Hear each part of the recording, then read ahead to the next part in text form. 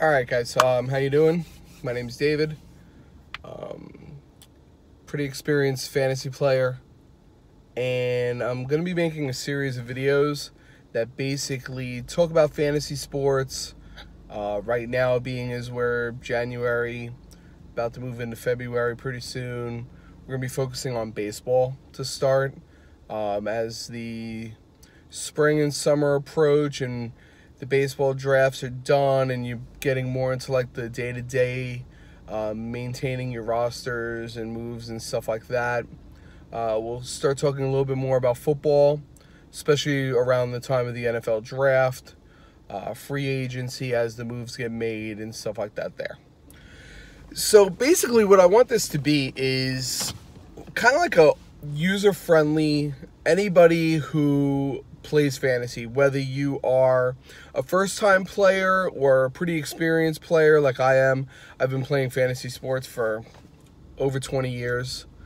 Um, anyone can come and watch these videos and get the tips and um, scouting techniques and stuff that I use um, to help them either start off in fantasy or help improve their game. So what I want to do is, especially for people if you've never played fantasy before, if you have, you can maybe skip ahead a little bit, kind of scroll through um, to where I'm going to start talking about basic strategies and stuff like that. Um, is talk about the types of leagues that there are.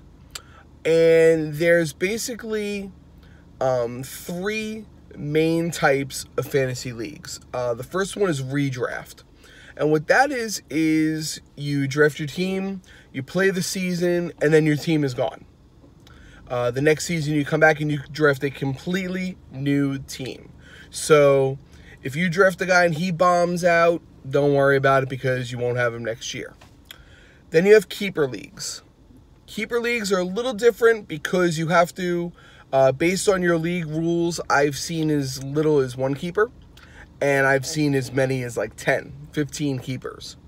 So your league rules may vary just depending on how competitive, how serious, um, the level of um, expertise of the people in your leagues. Um, and there's basic strategies and there's different strategies depending on how many keepers. And we'll get into that in future videos where I kind of break down each type of league a little bit more in depth. Um, and then you have Dynasty. Dynasty is personally my favorite format to play. Uh, Dynasty is where you get your group of owners together, you draft your team, and that's your team forever. You are now basically like the owner or the GM of a team. You handle everything from the time they are drafted by you until either the time you either trade them, release them, or they retire. That player is yours.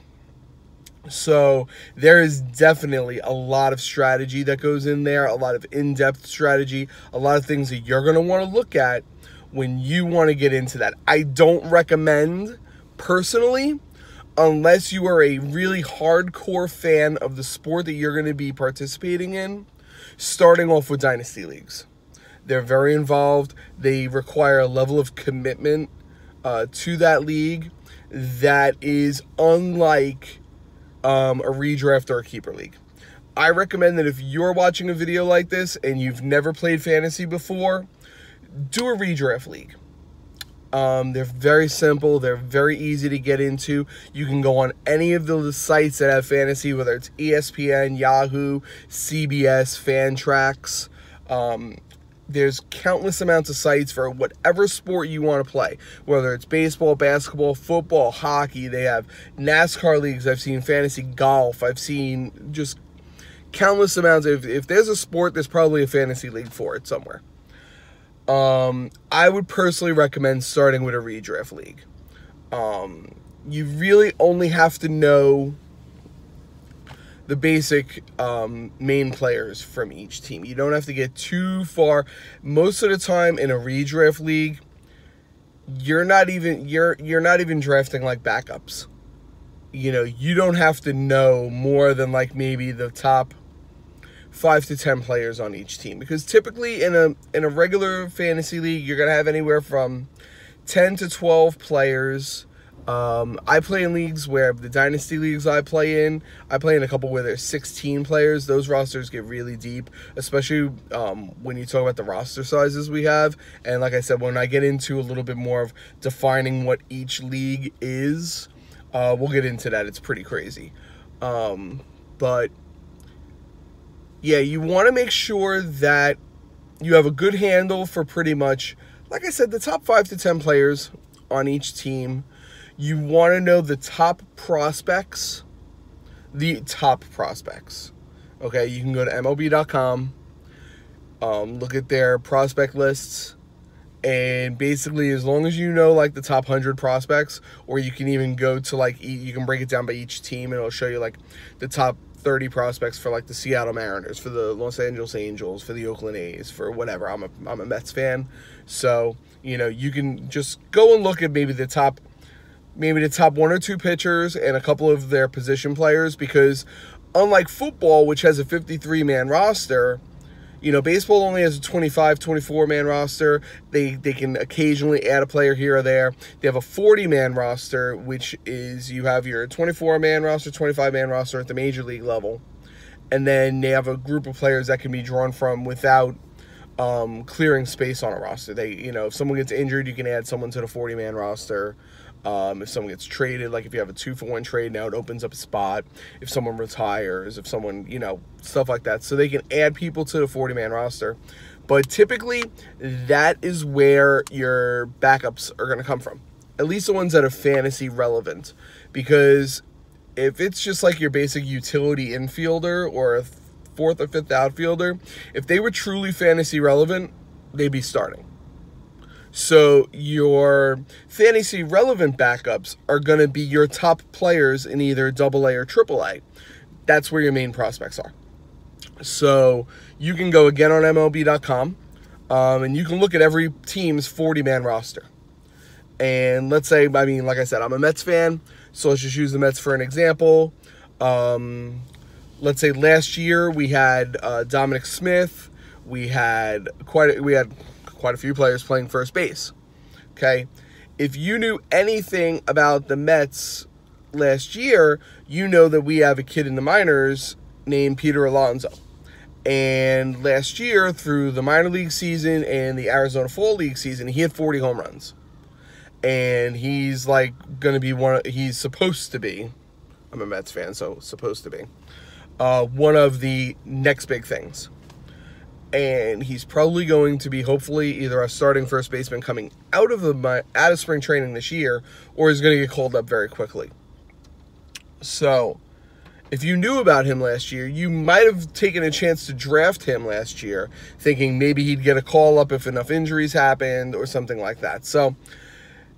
You don't have to get too crazy with prospects. Where you're going to get crazy with prospects is when you start playing more keeper leagues and absolutely in dynasty leagues. Um, so those are the three main types of leagues. You have redraft, you have keeper, you have dynasty. Now you have to think about the ways you can draft your team.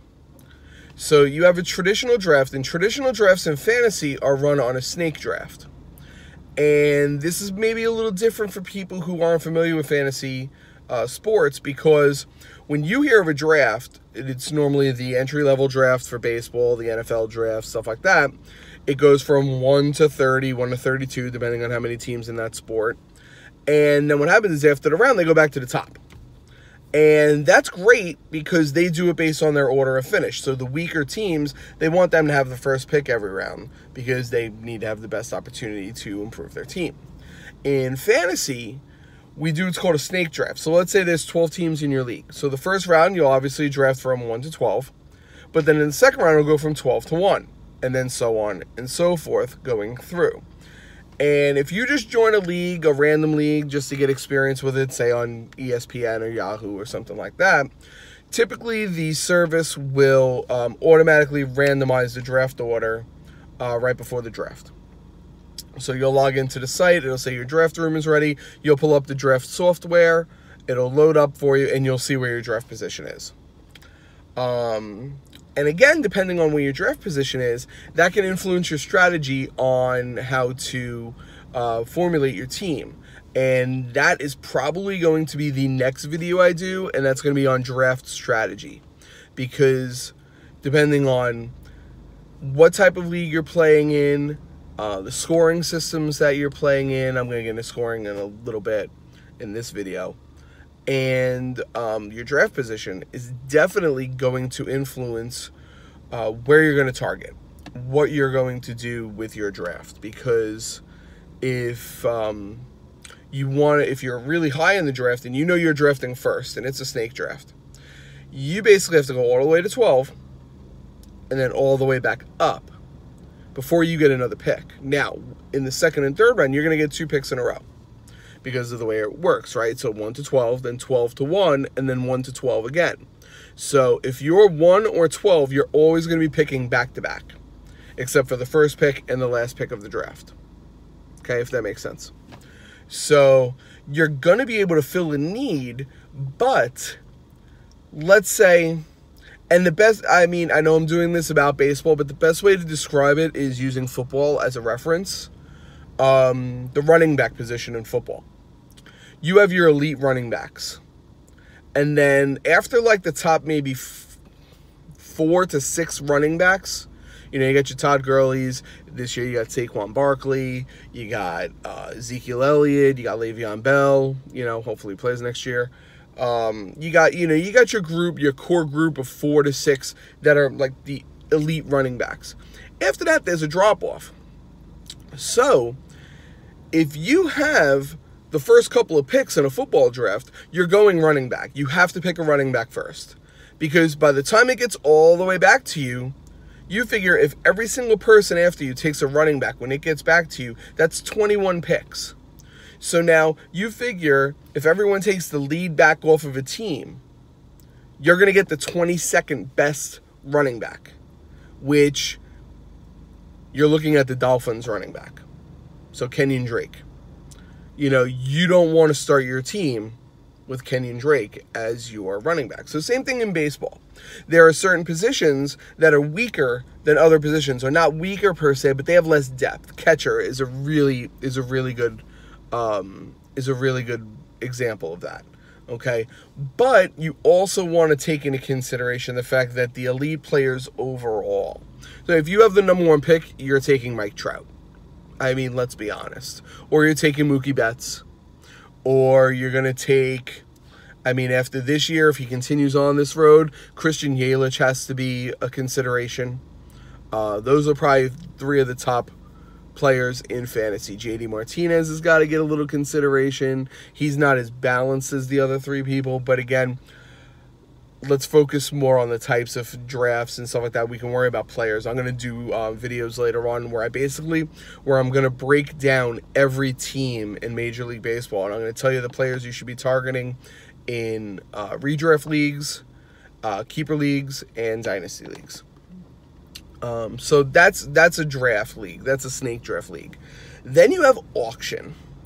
Now, much like I said with dynasty, I don't personally recommend that if you're a first time fantasy baseball player, that you begin with an auction league.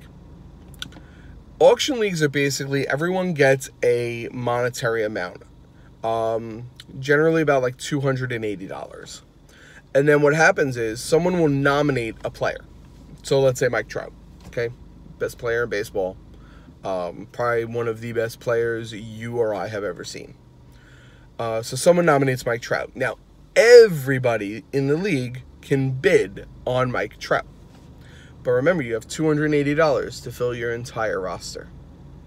Most leagues, you have a catcher, first baseman, second baseman, third baseman, shortstop, anywhere from three to five outfielders, a utility player, possibly a corner infielder, which can be first or third, a middle infielder, which can be short or second, and anywhere from 8 to 10 pitchers, and then you have a certain amount of bench spots.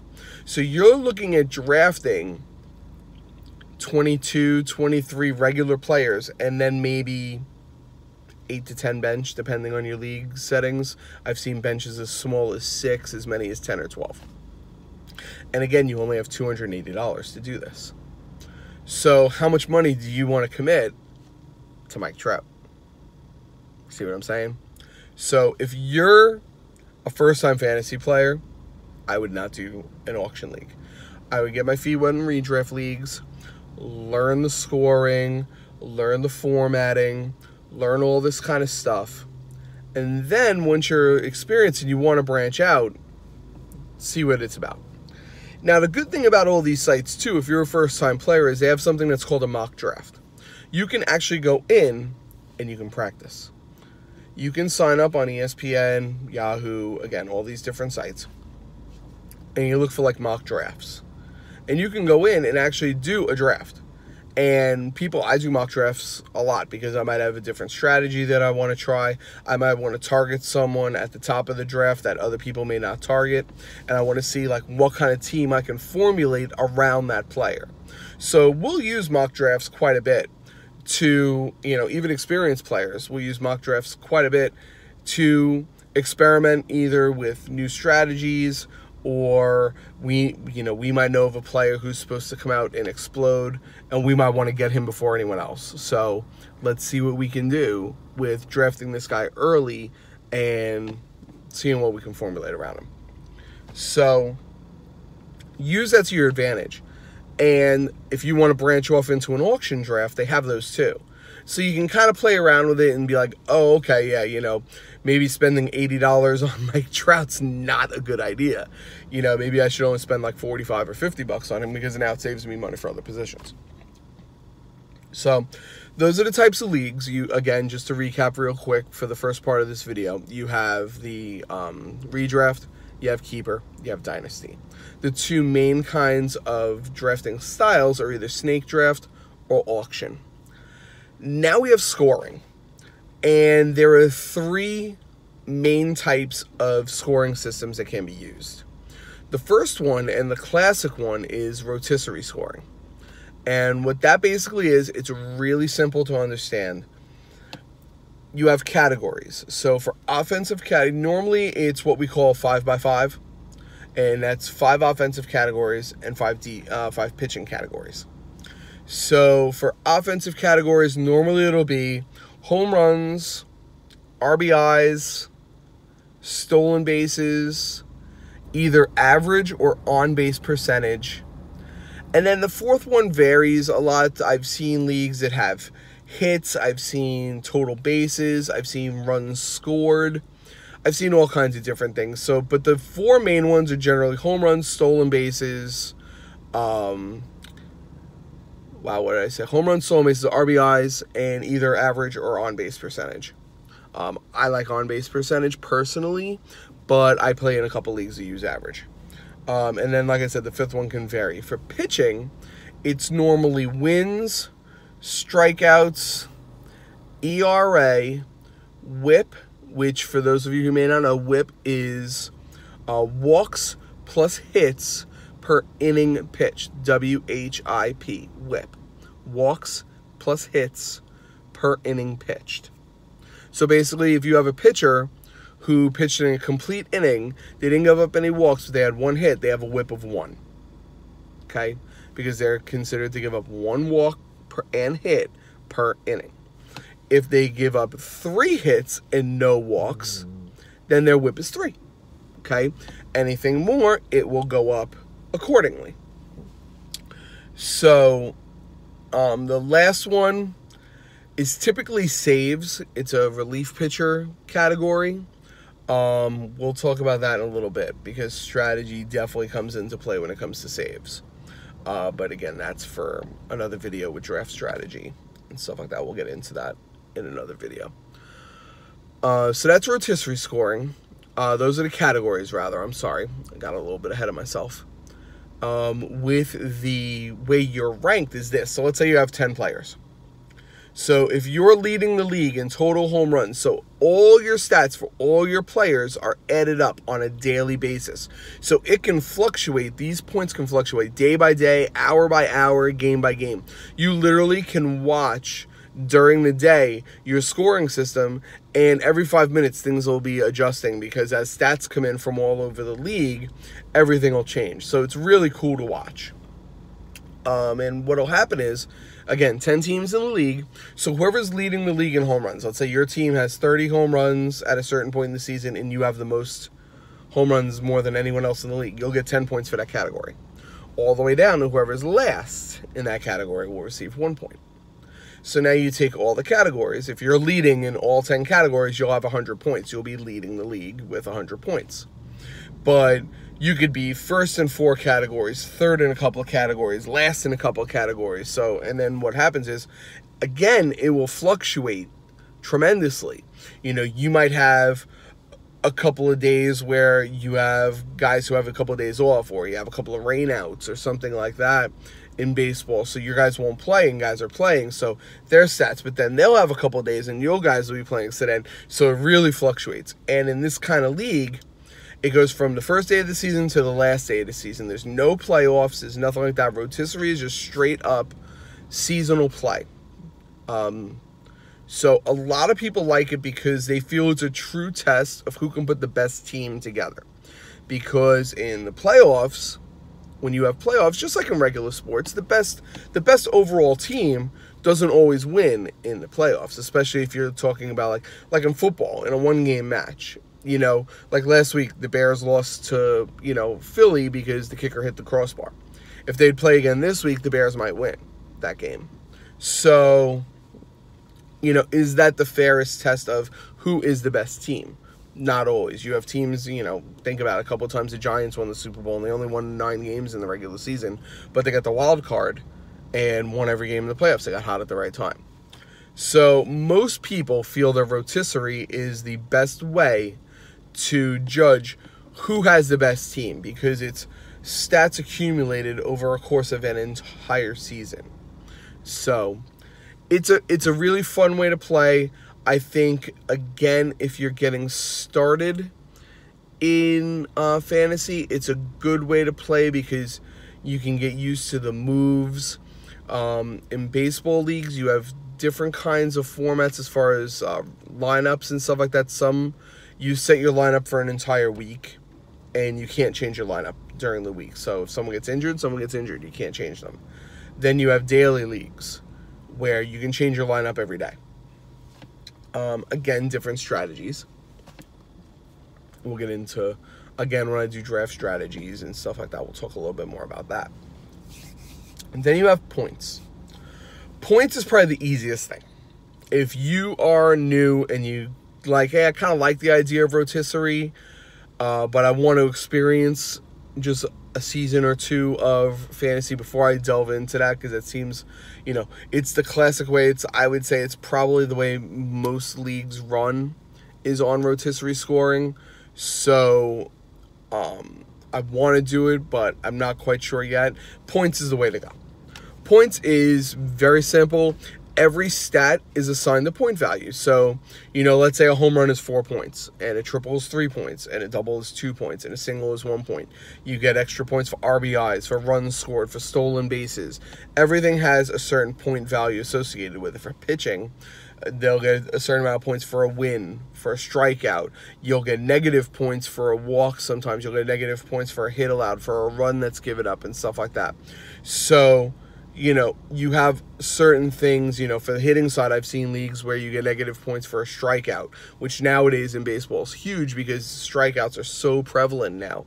So if you're playing in a league that gives negative points for strikeouts, your draft strategy is completely different because now, I mean, guys who strike out 150, 200 times a year, they're all stars where 20, 30 years ago, if they struck out that many times, they'd be in the minors because they would have to work on their hitting. So, but, you know, in the Moneyball era where it's more about on base percentage and, you know, a walk is as good as a hit and all this kind of stuff. The, the way the game is played is a lot different, and that's impacted fantasy sports too. The way fantasy sports is played because of that is completely different than when I first started. When I first started, you didn't want to draft anyone who had under a 270 average. Now it's like, oh, well, you know, he bats 240, but he hits 30 home runs a year, so, you know, the good outweighs the bad. So, again, we'll get a lot more into that when we talk about draft strategy. So points, again, like I said, you have a certain point value for every stat, and basically your team plays throughout the week, and Whoever accumulates the most points wins. And it's head to head. Um, like you'll play one team one week, you'll play another team, and that kind of league typically will run is generally 26 weeks in the Major League Baseball season. Um, that league will run generally 22 or 23 weeks for the regular season, and then you'll have a two or three week playoff, depending on the size of your league. So many teams will qualify for the playoffs, they'll play off against each other, and then whoever wins is the champion of the league. Then you have category scoring. Now, category scoring, this is kind of like Dynasty. It's advanced. It goes hand in hand with Dynasty. Most of the Dynasty leagues that I've seen are category scoring. And what that means, it's kind of like rotisserie, where you have the cumulative numbers for the categories, except instead of total for the season, it's week by week, it's head to head. So you're going to play another team, and each category is a win. So again, in that five by five scoring, five hitting categories, five pitching categories, you have 10 points available. So you can either go seven and three, eight and two. You can go seven, two, and one because you might tie in a category. Say both of your teams hit 30 home runs for the week, you know, or something like that. Not a lot of teams hit 30 home runs for a week, but you know, it's just a number that I threw out there. Um, so, and then what happens is, so let's say the first week I'm playing against somebody and I go seven, two, and one. That's my record. I'm 7 2 and 1. So then, accumulatively, over the whole season, as I'm playing all these teams, you'll have your record. And then the top teams with the record, it usually goes by winning percentage because once you start throwing ties in there, the winning percentages and stuff, so it doesn't go straight on wins because I could have a certain amount, I could have more wins than someone, but their winning percentage could be better because they had a certain amount of ties in the category. So whoever has the best winning percentages will advance to the playoffs. They'll play off against each other, and then the winner is the whoever wins the playoffs. You can do this for free. You can do this for money. Um, I happen to play in quite a few different money leagues. Um, the I play in three dynasty baseball leagues where it is um, one of them is $60 a year, one of them $65 a year, one of them is $35 a year. And then I play in a dynasty league that is points based, and we pay $25 in that. Um, and they pay out pretty good. I mean, the one league I play in pays out 400, 350 for first place. If you come in third or fourth place, you make at least your money back for the year. If not, maybe maybe almost double your money for the year. Um, so, you know, there's various levels. I personally find that if there's no money involved, um, or at least something involved, like a lot of leagues now are getting into the whole um, buying some kind of championship belt. Um, and the winner gets the belt for the year. Some leagues do a punishment. If you come in dead last, you got to do something silly. Um, I've seen where people have to stand out on a corner with no shirt on and a pair of shorts in like 30 degree weather with a sign that says, I suck at fantasy baseball um, or they have to get a tattoo, or I've seen people have to go to like an open mic night and a comedy night, and the rest of the league writes their jokes for them, and they're horrible jokes, so they have to go up on stage and bomb. Uh, that's really funny. I really like that one. I might have to try and do something like that in one of my leagues personally, because I think that's hilarious. Um, you don't have, I mean, me personally, I find it a lot of fun when you know all the people that you're playing fantasy sports with. I do happen to play in quite a few leagues where I don't know personally that I haven't I haven't met everybody. Some of the leagues, but there tends to be a nice camaraderie uh, that forms within the league. Um, a lot of times, uh, some of the leagues I play in, we have uh, Facebook pages where you can either talk to the guys, you can trash talk each other. Um, we have chats where like especially like you know you can talk about the games as they're being played um, then you can set off private chats where you can like discuss trades with people and stuff like that. So i mean it's a lot of fun. I find it more fun the more people you know in the league especially if you're friends with the people in the league. So if you've never played in one ask around. Fantasy sports is so um, prevalent. It's so popular nowadays that I guarantee that even if you don't play fantasy sports, you know somebody who does. Or you know somebody who knows somebody who does. So if you're on Facebook or if you're on Twitter, make a post and be like, hey, I'm looking to get into some fantasy leagues. I want to try it out. I've heard about it. You know, does anybody know someone who runs a league? Invariably, someone's going to know somebody who runs a league and has an opening. If all else fails, like I said, just go on any of the sites. They'll they'll definitely um, have something available for you where you can at least try it out. All right, so that's pretty much going to wrap up this first video. Um, like I said, you have the main types of leagues. You have the redraft, you have the keeper, you have the dynasty. You have the draft styles where you have the rotis. I'm sorry, you have the draft styles which is auction or snake, and then you have the scoring styles where it's either going to be rotisserie, points, or head-to-head -head by categories, where every category is a win. Um, I'm going to be doing uh, videos probably two or three times a week if I can.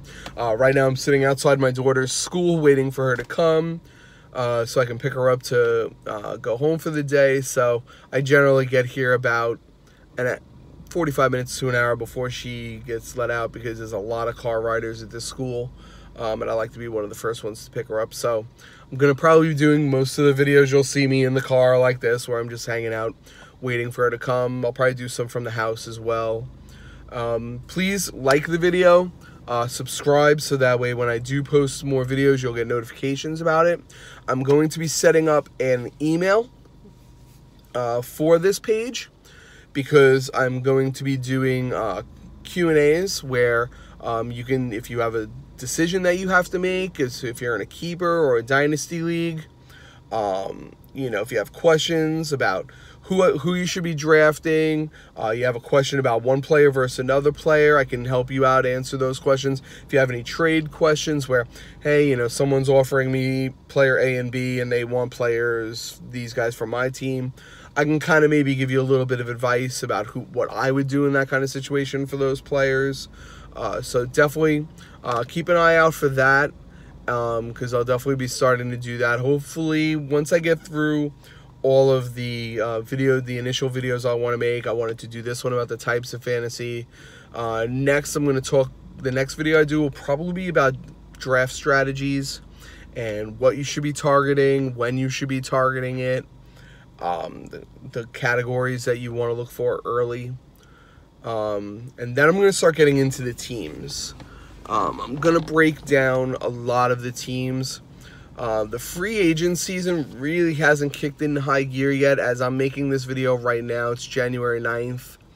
Um, a lot of the big free agents have not signed yet. Uh, Bryce Harper's still out there, Manny Machado, uh, Dallas Keuchel's still out there.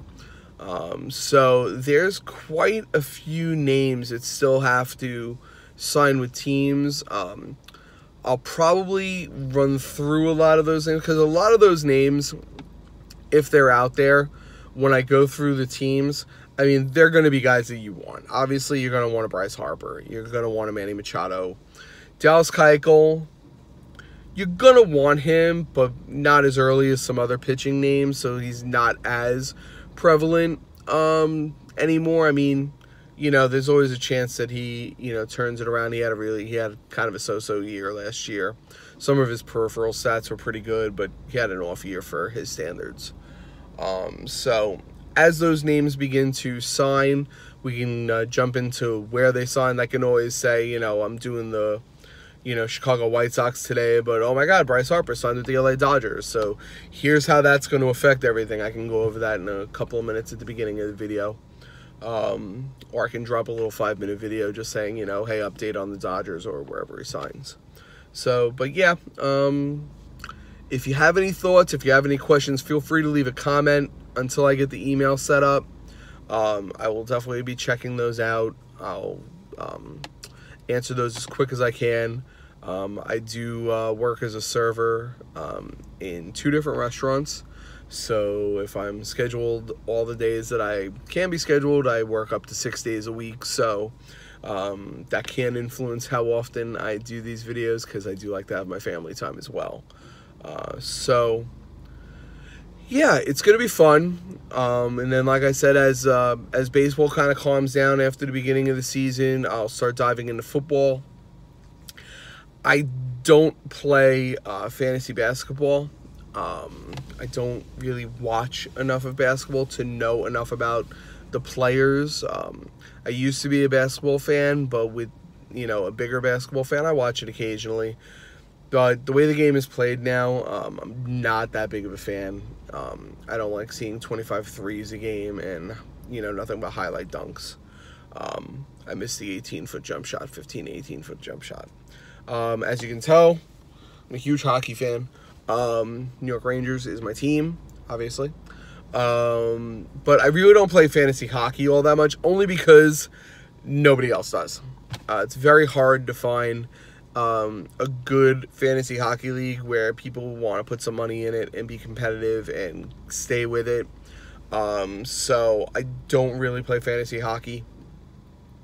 So I probably won't talk too much about that. If you happen to have a question about it, please feel free to ask. Um, I can do a little bit of research into it, um, and I can give you my best advice um, on it. If you have questions about players, because I'm a big hockey fan in general. I, you know, hockey is actually probably probably my favorite sport to watch. So um, I do know quite a bit about the game and about the players and stuff. I just don't I don't play a lot of it only because again it's not really that prevalent. Um, so the two main sports that are out there is basketball. Uh, I'm sorry, baseball and football. That's where I spend a lot of my time. Um, as far as daily fantasy goes, um, I do play some daily fantasy sports. Um, it's a much different animal than season long you have to know a lot more in depth about matchups and tendencies and stuff like that. And I myself am just starting to learn about those. So I really probably will not talk too much about daily fantasy.